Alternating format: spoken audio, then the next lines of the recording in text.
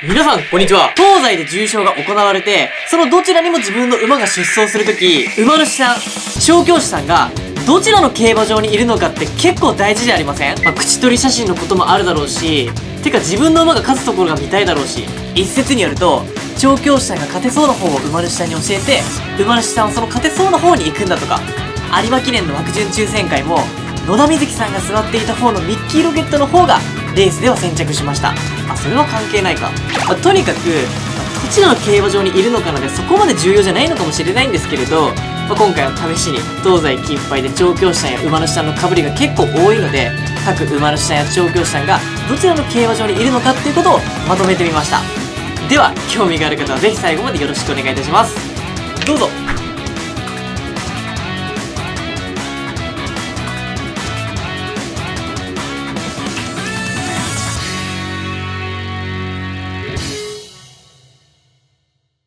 はい、ということで、今回はアドマイヤアルバとアドマイヤリードでかぶっている、アドマイヤのオーナーの近藤さん、そしてスマートオーディンとストロングタイタンマウントゴールドでかぶっている調教師の池江さん、そしてサラキアとストロングタイタンでかぶっているシルクの代表米本さんがどちらにお見えになるのかの情報ですね。まあ当日になれば、ね、どっちにしろパドックの中継でどっちにいるのかっていうのはわかることなんですけれど、まあ一応もうこの段階で先取りしてお伝えしておこうと思います。で、ただちょっと問題なのが、僕が今からお伝えするその得た情報っていうのが、Twitter の DM で得た情報なんですよね。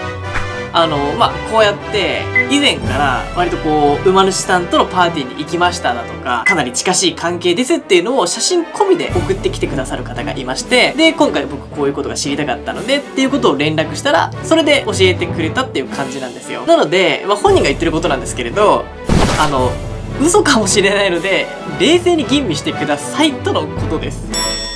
はい。ですので、まあ、本当に今回はちょっとお試しみたいな感じでやってみたいと思います。またこういうね、動画を出すことによって、いや、それは違うよとか、いや、それは本当だよっていう情報とかも出てきたりすると思うので、少しこう、研ぎ澄まされていくと思うので、ちょっとまあ、何にもやらないよりは、何かこうやってみて、どうなるかっていうのをちょっとやってみたかったので、こういう情報ですけど、ちょっと出してみたいと思います。なので、まずはね、この情報をくれた方々も本当にありがとうございます。はい。ではですね、えー、ここから発表していきたいと思います。えー、まずはですね、近藤オーナー。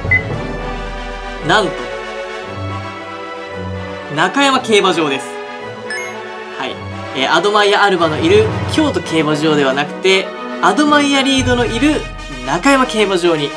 土曜日はいるという、まあ、一応噂ですね。はい、で、もし、あの、菅井調教師がどちらにいるのかっていうのを知ってる方がいたら、ぜひ、写真込みで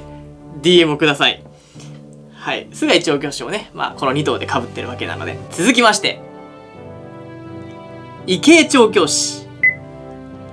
池江さんはなんと、こちらも中山競馬場だそうです。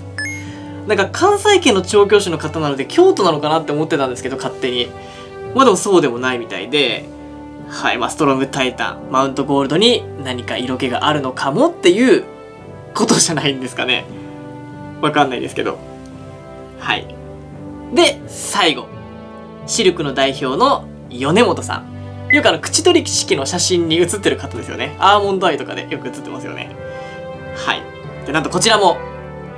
中山競馬場でございます。はい。まあ、サラキアではなくて、ストロングタイタンの方に、まあ、何かね、こう、行くことに意味があるのかっていうところです。はい。ということで、今回は馬主さんや調教師さんがどちらの競馬場にいるのかのお話でした。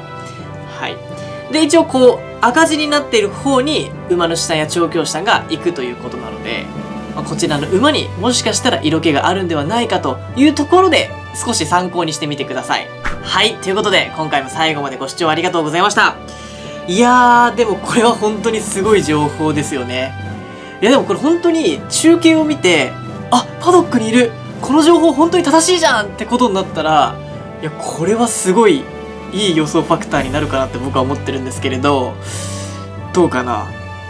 はい、ですので、なんかそんな架け橋を作ってくれたこちらのお三方、本当にありがとうございました。はい。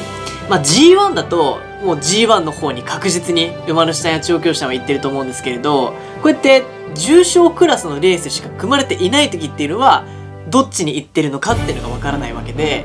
でそのどちらにいるのかっていうのが僕は結構大事なんじゃないのかなって思うんですよね。ですので、まあ、このシリーズでは2つ関門がありますね。まずはこうやって皆さんから頂いた情報っていうのが本当に正しいものなのかどうか。そして正しいと分かったら本当にそれが勝敗に影響するのかどうか。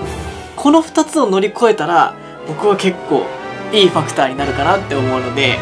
はいまあ G1 が組まれていないこうやって重症しかない時ならではのシリーズの動画にしていきたいなと思っております。